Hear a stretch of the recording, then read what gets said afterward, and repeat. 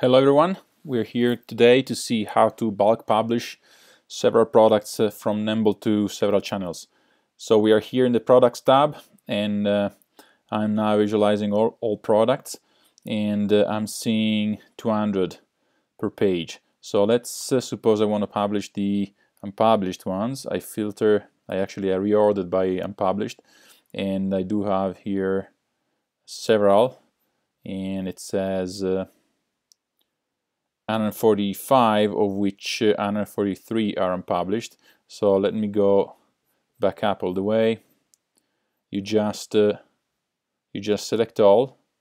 Then you unselect the two which have been published already if this is what you want to do. And uh,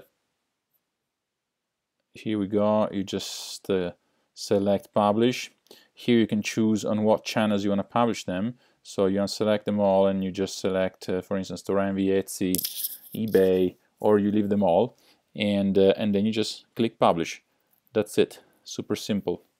After this, you'll uh, the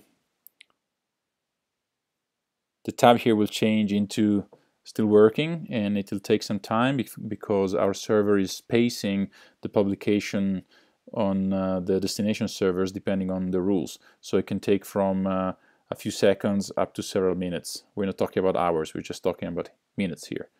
Thank you so much. Have a great day.